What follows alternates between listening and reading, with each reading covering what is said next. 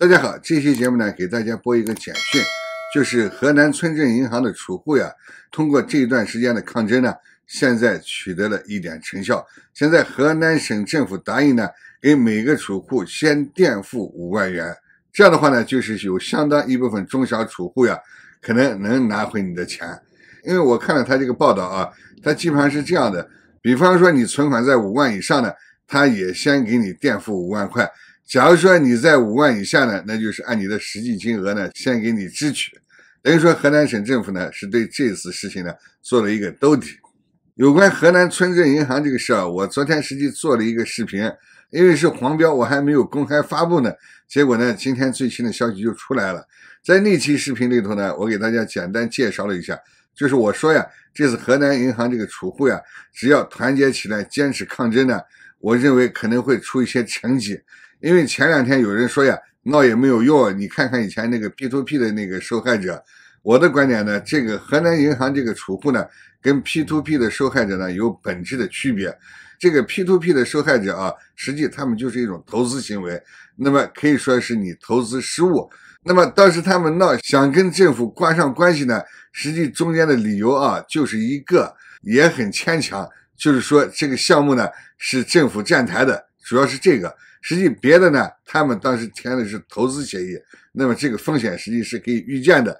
那么最后政府也就说了，那么政府项目也是项目呀，也可能有风险呀，对不对？你自己没有把握好风险，你现在找政府，你有什么道理呢？所以以前这个 P to P 的受害者，最后都是闹了半天呀，没有什么结果。但是河南村镇银行这个呢，那是不一样的，这里头大多数客户呢，是冲着这个村镇银行的利息啊。比别的银行高，就把钱存到这了，甚至连个理财产品都不算。那么这样的话，按照有关规定啊，这个银行是应该承担责任的，因为我并不是投资嘛，我是把钱存到你这的。所以为什么这次储户的这个底气也比较足呢？就是政府虽然花了那么大的劲来维稳啊，最后还是妥协了呢。确实，在这一块，政府是完全理亏的。加上这次事情呢，涉及面太广了，四十万的储户，四百亿的资金。那么昨天七幺零的时候，大家应该都看了很多视频嘛，在人民银行河南分行门口进行的那个对决，那个事件实际引起了国外媒体的广泛关注。那个场面啊，确实挺大的，储户有三千多，然后政府找的这个维稳人员呢，有一千多。而且是分工明确，有穿白衬衣的，有穿黑衬衣的。最后呢，经过这个对攻呀，还是把这些人给拉走了。当时应该就关到那个河南省越级上访教育中心去了。七月十号那天那个事件呢，虽然是政府进行了清查，我觉得政府呢，也许是被这个储户的抗争意识吧有所震动。假如说这个储户长期不撤的话，他的维稳费用将会是多少？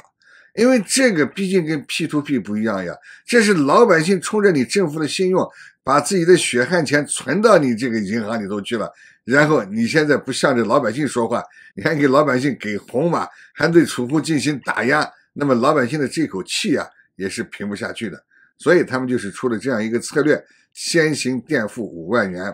实际呢，中共的这个策略呢也是挺高明的。他这样子先行垫付五万元呢，可能就会把百分之九十的储户呢给打发掉，因为中小客户还是比较多嘛。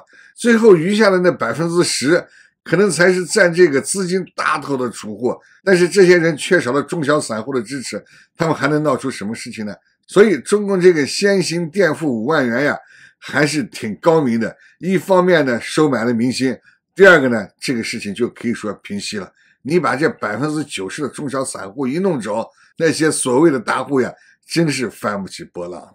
所以不管怎么说吧，我觉得这次河南银行这个储户啊，能这么团结一致来跟政府抗争呢，也是起到了一定的作用。如果都不抗争，能有今天这个结果吗？所以这个事呀，应该被中国的老百姓所借鉴。一旦出现这种事情以后啊，一定要团结一致抗争到底，还是可以争取来一点利益的。那么政府他现在是这样的答应的，最终他这个垫付情况会怎么样呢？我们再看后续的报道。另外呢，就看那些大户啊，最后能不能挽回一些损失吧。那么这条消息呢，就给大家报到这，感谢大家观看，谢谢。